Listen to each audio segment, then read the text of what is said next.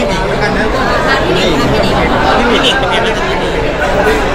เออหน้าออกจากโรงพยาบาลแล้วค่ะ ก็น่าจะดีขึ้นอะไรเงี้ยด้วยความเขาตัวเล็ก แล้วเขาทำงานหนัก แล้วก็แบบเหมือนเหมือนล้มอะล้มผิดจังหวะ แล้วมันก็ไปโดนแบบไขสันหลังแล้วทำให้เขาลุกไม่ขึ้นก็เลยต้องแอดมิดแล้วก็คือเหมือนแบบกล้ามเนื้อไม่ค่อยมีแรงคือตัวเขาเป็นคนอ่อนแออยู่แล้วแล้วก็เป็น คนทำอะไรเร็ว ซึ่งเราก็แบบเออต้องบอกเขาว่าเออต้องค่อย ๆ ระวังอะไรอย่างเงี้ย แต่คิดว่าหลังจากนี้เขาน่าจะระวังตัวมากขึ้นเพื่อนก็เลยเข้าตกใจไหมคะพอเห็นว่าพี่เราเหมือนกับจะขยับไม่ได้จะเดินไม่ได้ คือเอาจริง ๆเขาเข้าโรงพยาบาลบ่อยมาก แต่ไม่มีใครรู้ แต่พวกเราอาจจะรู้ตลอด แต่บางทีเราก็คิดว่าเฮ้ยมันไปแบบเสริมความงามหรือเปล่า เพราะบางทีเขาก็จะแบบไปไปไปทำนู่นทำนี่เติมคือเป็นคนดูแลตัวเอง แต่แต่พออันนี้เออตอนแรกก็คิดว่าไปทำอะไรไปโดนเข็ม แต่ปรากฏว่าไม่ใช่ เพราะว่าถ่ายรูปมาคือสภาพแย่มากอะไรอย่างเงี้ยก็เลยก็เลยไปดูเขาก็แบบเออแย่จริงๆอะไรอย่างเงี้ยพี่เมย์เป็นพยาบาลที่ถึงขั้นหนักขั้นดามคคออดำคอดำตกใจมากเลยภาพตกใจตกใจแต่วันนั้นอยู่กับหมอหมอก็แบบเขาก็เอ็กซเรย์มาก็คือคอไม่เป็นไร สมองไม่เป็นไรแต่ว่า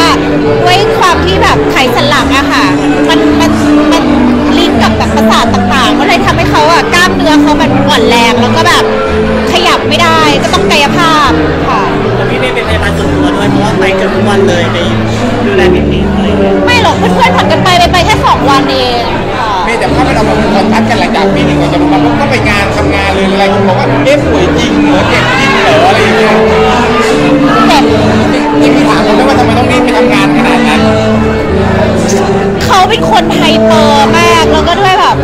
มีแบบละครของเขาที่กำลังแบบทำทำบทอยู่อะไรเงี้ยอันนี้ก็แบบ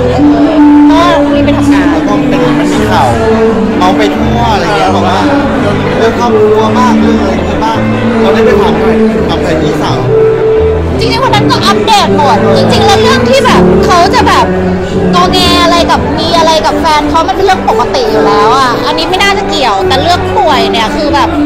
มันมันเออมัน ปรากฏว่าเราคนตีความผิดให้เขาเครียดหนักกว่าเดิมนะ คือแม้ว่าถ้าเขาถ้าเขาจะตีกันกับสามีเขาเราเราชินแล้ว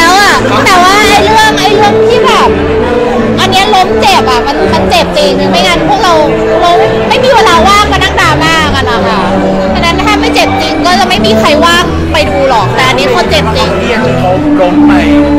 แม้ว่าอย่างแบบคือแบบเห็นคนป่วยแล้วก็หาว่าแกล้งป่วยนี่คือมันมันมันไม่น่ารักอะค่ะคือว่ายังไงบ้างครับกับกระแสที่พี่หนิงโดนเรื่องนี้แล้วก็มันไปกันเป็นยังไงบ้างแม้ว่าอันนี้มันเป็นเรื่องเล็กๆอะเราอยู่กันมาขนาดนี้แล้วเราเราน่าจะชินแล้วแหละจริงๆแล้วอะแม้ว่ามันมันผ่านจุดที่จะมาเรียกร้องความสนใจอะไรแบบนี้แล้วอะเราเอก็อรู้ไหมว่าพี่หนิงกับพอถ้าโดนจากโรงพยาบาลต้อง ไปถ่ายแบบทำงานอย่างเงี้ยไม่มีใครห้ามพี่หนิงเลยเหรออะไรอย่างเงี้ย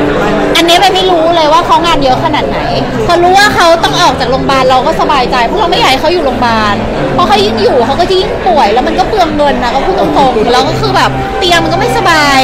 แล้วก็อยากบอกเขาว่าเออต้องฮึดอะไรอย่างเงี้ยเออต้องออกมาทำงานเขาก็ฮึดพี่หนิงไม่ได้ character สาว strong พี่เมย์เพราะว่าไปถ่ายแบบแบบไอ้นี่เลยอะแบบปกติไม่รู้จะทำยังไงอะทุกคนก็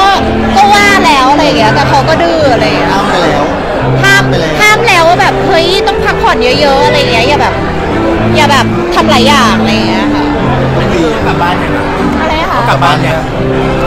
กลับแล้วกลับสักพักแล้วค่ะ แต่แม่ไม่ได้คุยกับเขาทุกวันน่ะอัปเดตเองเขาก็ไม่แน่ใจเหมือนกันตอนนี้พี่เขาไปโรงพยาบาลอีกไหมครับพี่เมย์ไปตรวจเช็คแล้วรับร่างกายเนี่ยอันนี้ต้องเช็คทางผู้จัดการเขาอะเพราะว่าเมย์ก็ยุ่งอะก็เลย ไม่ได้แบบทุกวันแต่ว่า ทุกวันนี้ก็คุยกันเรื่องแบบดีโอเคด้วยอะไรด้วย ก็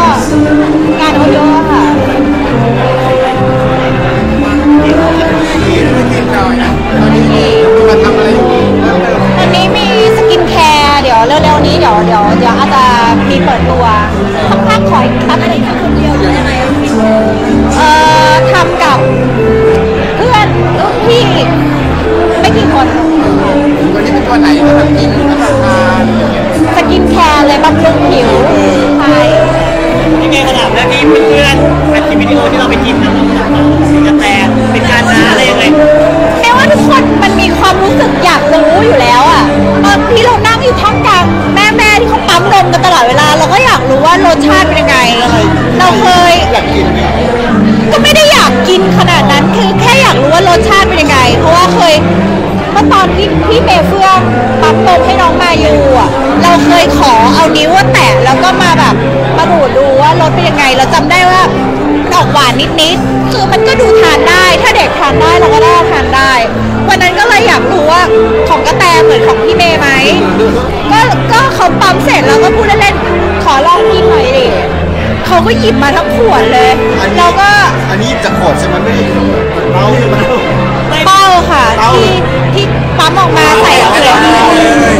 ก็ปั๊มมาเต็มเต็มใหม่ ๆ เลย ไม่ได้ไปดูดนมเพื่อนขนาดนั้นคือตอนปั๊มมาใหม่ๆมันยังอุ่นอยู่แล้วก็แบบ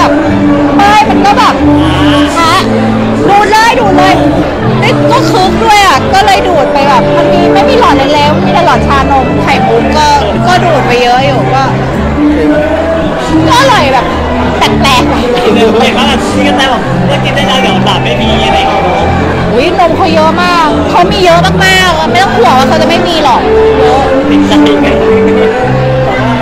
ก็ลองให้รู้แต่ก็คงไม่ถึงขนาดไปแย่งหลานทานหรอกค่ะแต่ว่าใครห้ามมาทานพี่เมย์ใช่ไหมเออถ้าทาให้แม่กิ